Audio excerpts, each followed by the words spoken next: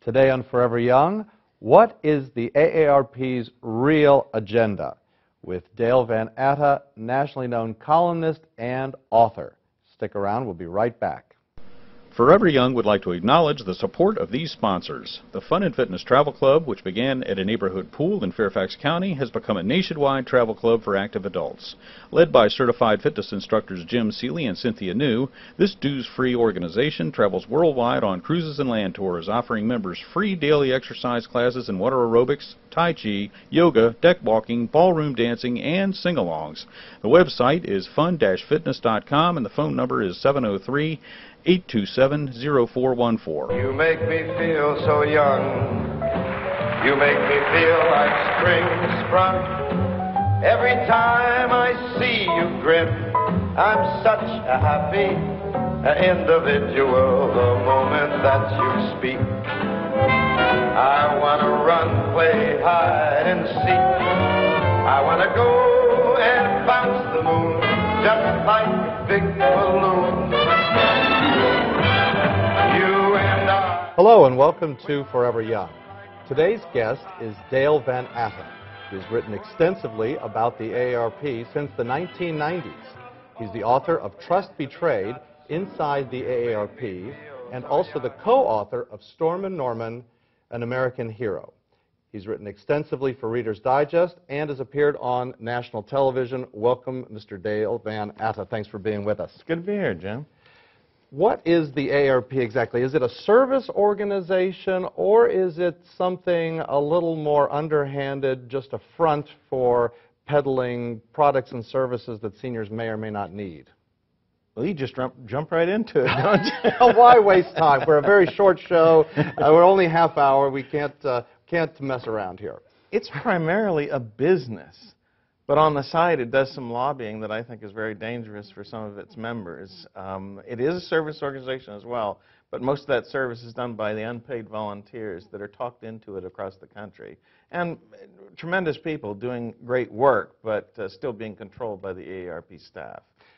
What are these uh, lobbying positions that the AARP takes? Well, let me explain a little background first. This is an mm -hmm. organization that was started in 1958 by a retired teacher who found out that they didn't have enough group health insurance. So it was primarily started as the Retired Teachers Association to get teachers group health insurance. So they started group health insurance. And so from the beginning, it was tied to this businessman named Leonard Davis. A lot of scandals over the years because they made tons of money from that. Then they kind of developed into this national organization, 38 million members now, which they claim they're supporting on Capitol Hill.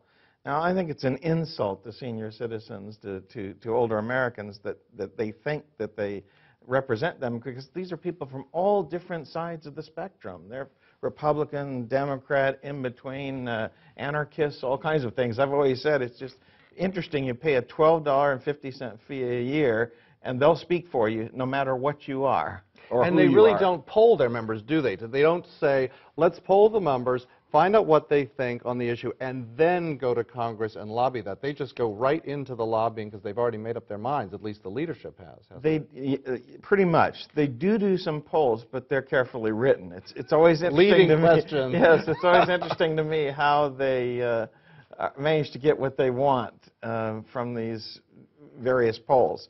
But the polls that were always most interesting to me was the polls, why did you join AARP? Representation was almost never there. If you look on the website, you'll, you won't even see we speak for you in Washington. Because I think anyone with half a brain, and most of our older Americans haven't, maybe some of the younger ones don't, um, will, will say, uh, how do they speak for me? They don't even know what I want to what I want to do. So yes, they, they presume that they speak for you. Now, the way AARP has gotten some negative publicity as recently as 2003 and then also in the, in the 90s is when they took a position that was in favor of the proposed Medicare, which featured this Medigap insurance, yes. which coincidentally, wink, wink, the uh, AARP had a contract with a company that sold the Medigap insurance, and then you had uh, news reports of people burning their AARP cards. Give us a little bit of background about these incidents. Okay. Um, yes, we all knew, those of us that followed AARP closely, and I reported on it at the time, they were going to make tons of money from this. Uh, it is the primary source of revenue for them. It's like the $12.50 that you spend a year for the membership is kind of a bait and switch. That wouldn't even pay for Modern Maturity, for the magazine, for the pages that are in Modern Maturity. What they really want to do is get you in the door to sell you all these things and then use your name for this lobbying. So uh, what happens is, since people don't really want to be lobbied for, most of the older Americans, if they're not asked about it, they'd rather participate themselves, like the volunteers they have. They just take these various positions, and normally it's below the radar. They do whatever they want. They talk to Senator X or Congressman X, and they say to him, we represent 38 million people. We're the 800-pound gorilla, always listed every year as the, the most powerful lobby in Washington, but they really aren't and shouldn't be, and their members should be tearing up their cards if they are speaking for them. So every time they pop up, it's kind of like one of those carnival games, uh, whack-a-gopher. yeah, the whack-a-mole. Every time it, they really become public with a position that, that's controversial, they lose members. Oh, yes. Because the members say, I never told them to, to do that for me. And they've done it three major times. Started in 1987 with catastrophic health care. And after that position that they took, they were going to have this wonderful benefit for everybody. It was going to cost tens of billions of dollars over the years. And, but the seniors were the eh, ones who ended up revolting. They ended up repealing it within a year. It created three or four other older American organizations as a result of that. They came back. That, they thought, all right, we've learned their lesson. I talked to John Rother at one point about that, and he ended up with Ten Commandments. I found a sheet of his that he didn't realize I could get. I'm an investigative reporter, and just said, I understand you have this in your desk, and you always refer to it after that great failure. He said, Yes, I do. I said, It's interesting to me that the, I think the first point on it was, listen to the members' opinions. like, maybe that's a good thing if you're going to lobby for them. 1994, they popped up again with uh, Hillary Clinton's uh, health care bill. And at the last minute, it was really a foolish time to do it. They suddenly sided with her, and they lost, you know, a million plus members as a result of that. now scroll forward to 2003. Ironically, I think a lot of the members they lost this time around were Democrat, because in the end, they want to be perceived as a powerful lobbying organization. It's almost like, uh, I, I, mean, he was always liberal before, but he realized once the Republicans were in power, he'd have to, to cozy up to Newt Gingrich and the others and President Bush, that they would really have to get on board if there was going to be any legislation. It was going to be Republican. So they tried to push for as much as they could get, and they benefited financially as, as a nice well, little result. Well, I read that uh, this Medigap insurance that they sell, or at least they don't sell it directly, but they have a contract with another company that sells it, represents 25% of their uh, income. So, and, it, and this uh, plan that they supported, which went through in 2003, created the need, this donut, this donut hole that we've mm -hmm. heard about, mm -hmm. and that, that actually uh, facilitates the need or necessitates this uh, Medigap insurance. So talk a little bit about this conflict of interest that just keeps coming up uh, time and time again. They have, yes, they have tremendous conflict in my mind with all the different services. Is not just the health care, that's auto insurance. It's everything an older American might want. So whatever they're lobbying on, they're going to benefit financially from. It is a serious conflict, and more should be said about it. What they, what they did, there was a big uh, some years ago uh, where the IRS basically said, um, you can't be doing this. You cannot be selling all these things and then lobbying, doing these other things on the side. You are a lobbying organization. So they separated it, but it's just with an accounting thing, AARP Services it's called, and that's the organization that has the contract with all these different uh, healthcare providers. Well, so plus, on. aren't they supposed to be a nonprofit organization, yes. AARP? Yes, and that's and that's why the IRS said no. It was the when they when the IRS came out at them, it was the biggest settlement in IRS history. They got off cheap. They waited until Clinton was in power, a friend of theirs, and they got off cheap. Only 135 million dollars, but they probably should have paid about $500 million. I mean, this is a half billion dollar a year organization plus, uh, and most of it comes from this revenue, not from membership fees. And I think it's quite alarming because it is a very nominal fee. So you would think that uh, most people that are over 50 uh, are uh, going to be a member just because it would theoretically pay for, the, for itself in hotel savings and things like that. But I, um, uh, you were just saying that there are only 38 members. There really should be over 100 million members because of that's how many people in this country are over 50. Yes. So it, it, it is just this huge red flag that a relatively small percentage. I mean, you can sign up. Uh, you did mention it's 1250 uh, a year, but you could sign up for five years, and it works out to only be about five dollars a year. Yeah. So it's this unbelievably nominal fee.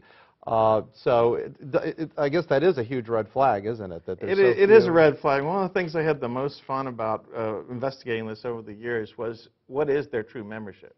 I mean, quite a bit of that, uh, I can't tell you the percentage of that 38 million are dead. I mean, they'll send you notices for years. Uh, one of my favorite things is they solicited Mark Twain. Uh, they found the Samuel Clemens Museum up in Hartford. That was many of the solicitations. They decided that Samuel Clemens was over 50. So they sent him an offer in the mail. He was born in the 1800s, Yes, wasn't he? and, and, and so the museum people there thought, well, let's have some fun. So they filled out an application for him, and they also put in there, also known as Mark Twain. They also put when he was born, like whatever it was, early 1800s. He got a membership as a result. So, I mean, these are the 38 million, that's really padded figures. Another thing about the 38 million, they assume they have a spouse, even if your spouse is not alive. So if you pay for the member, the actual members are probably less than 20 million.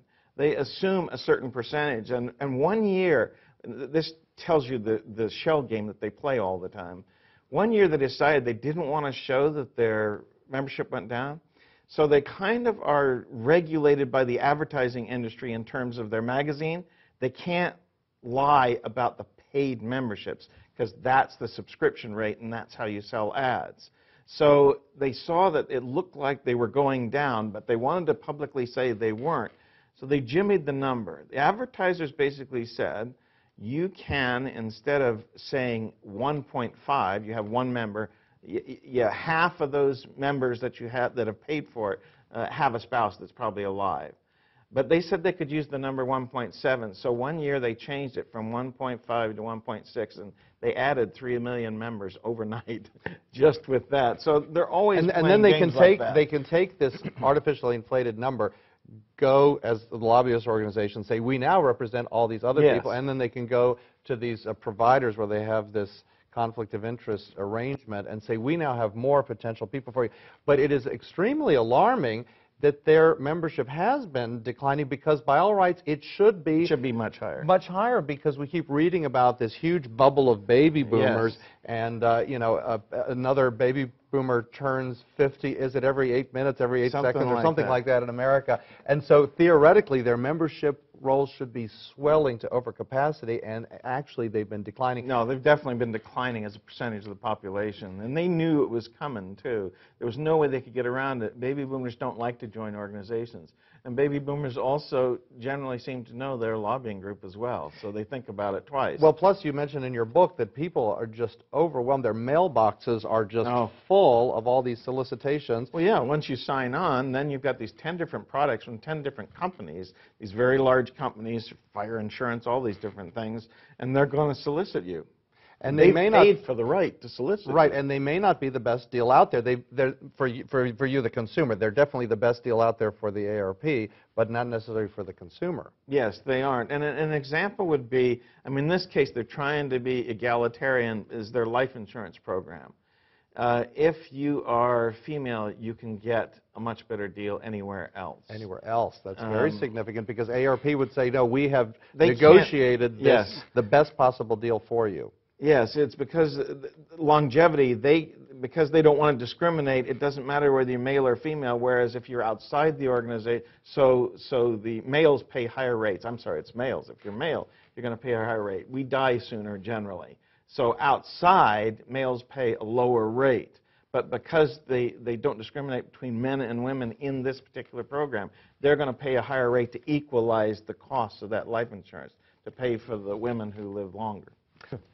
This is a uh, very uh, interesting topic because the ARP has a multi, tens of millions of dollars machine uh, to really put out a public um, message uh, that it is a service organization, and there are very few people such as yourself that are saying, wait a minute, there are some things that we should really look at.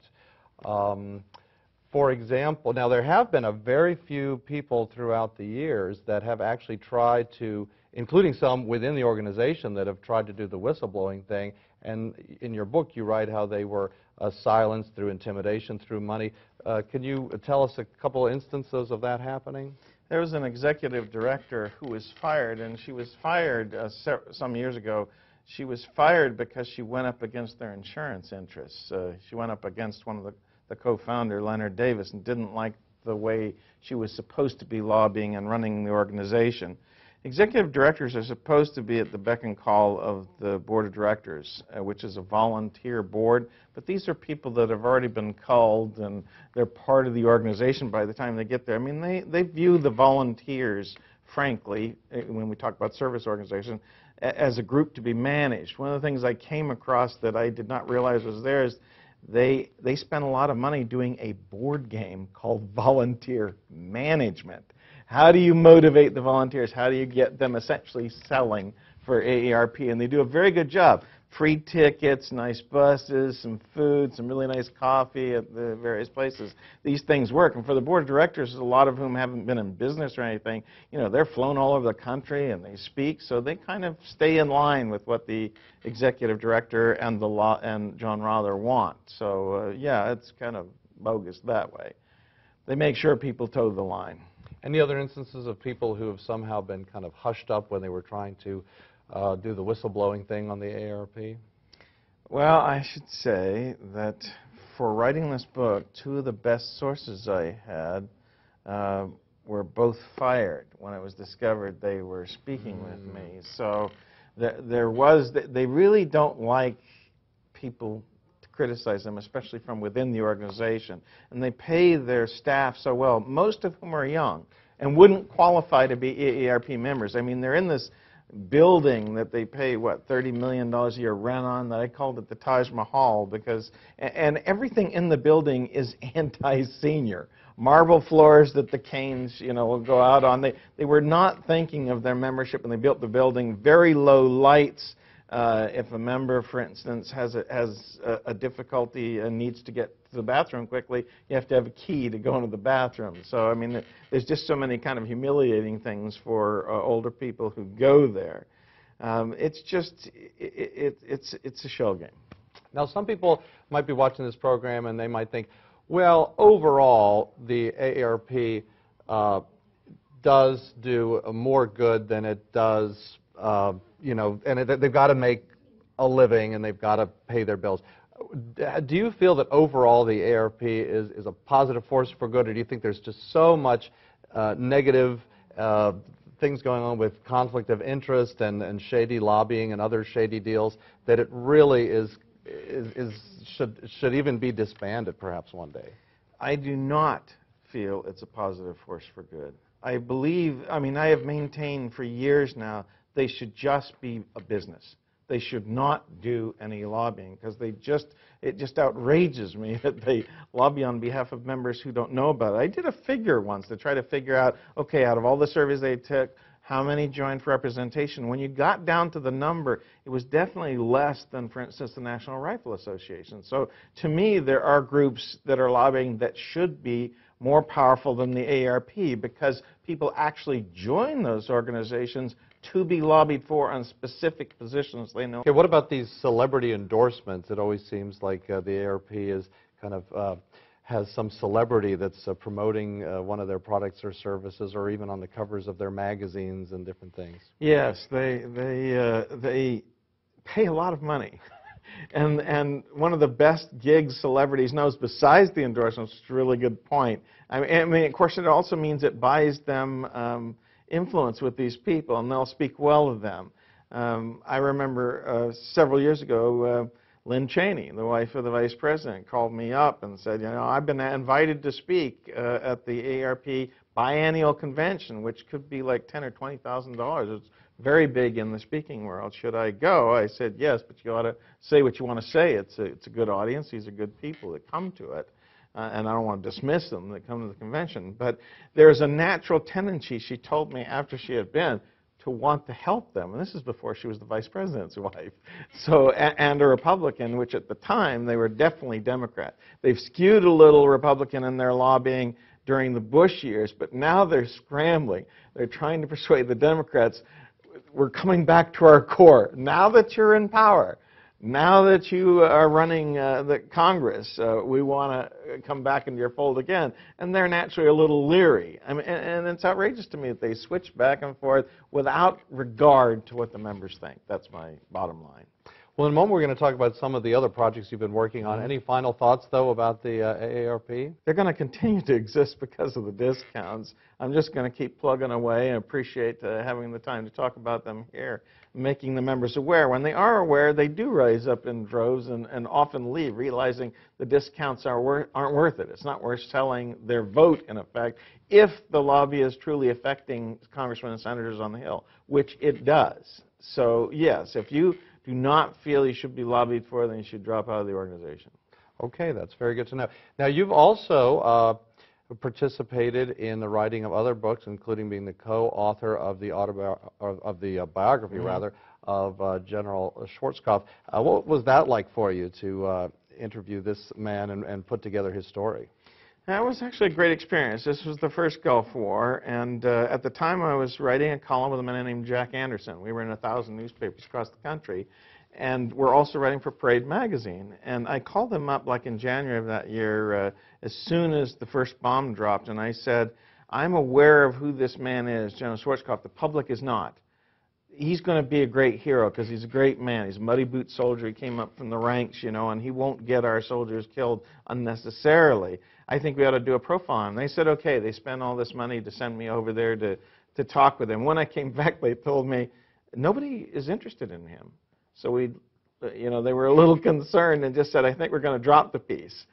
Three days later, we got called by a national publisher saying, oh. this guy's going to be huge. This is mm. before he did the press briefing. Oh, it was before the press briefing? Yes. Okay. so the, he wasn't really well known in the public. And it, it was a wonderful experience. Must have been wonderful. Now, what about your uh, articles that you've written for Reader's Digest magazine? Yeah, I write several articles for them every year. I, for instance, I do a yearly one on America's worst judges, and that's always fun. For some reason, we get dozens and hundreds of candidates from the readers all across the country. This judge is terrible, so it's a hard thing picking out which one.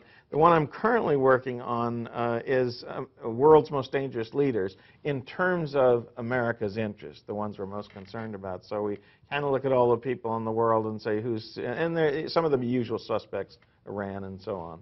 And you're also now starting to work with people doing their own personal biographies. Tell us about that. Yeah, I have a great belief that people should be writing their own life history. And many people who've had some interesting lives, and more interesting than they think usually, uh, never get around to it. They will spend a lifetime building up wealth and so on to leave to their kids. But to me, the legacy, the best legacy to leave, is the stories of their life, how they reached, the, how they came by the principles and the various things that really should be passed on. So I've been talking with people who are in the business, uh, in their mind, want to leave a legacy for great great grandchildren. A nice book doesn't have to be published, but it can be. You know, I was fortunate enough to um, lead a group, of, a chartered group of seniors to the uh, newly opened World War II Memorial on its oh, opening wow. weekend. And I'll tell you that I'm so glad I went. People said, "Oh no, wait till after it's died down and the crowds have gone away." But that opening weekend, there were so many of these stories that you talked about. There were letters, there were photographs, and each one I would have been willing to buy a book about any one of these yes. stories. And um, unfortunately, the, I guess the Park Service clears away this memorabilia after, at the end of each day. I hope they're saving it somewhere and maybe going to do something with it at some point. Yeah. Um, I agree with you on that. In fact, that's one of the things when Tom Brokaw was doing his first book and the one since, Greatest Generation, right. and as, as Senator Dole and uh, Tom Hanks and others were doing this World War II thing, and we're getting these letters, some of the grandkids of those wonderful men and women were starting to realize, boy, they never talked about this. I'd really like to know about this. Because a lot of grandparents don't think their kids are interested in it. But there will be a point at which they will be. So you want to have those stories. That's true. A lot of they're um, they're called the greatest generation for a reason because they're very humble. They don't want to sing their own praises, but they're all heroes. So thank you very much uh, you, for joining Jim. us, and uh, it's wonderful to have you with us. For more information about Dale Van Atta's books and articles and other projects, please visit our website, foreveryoungtv.org. That's www.foreveryoungtv.org. Look forward to seeing you on a future episode. Thanks for joining us today.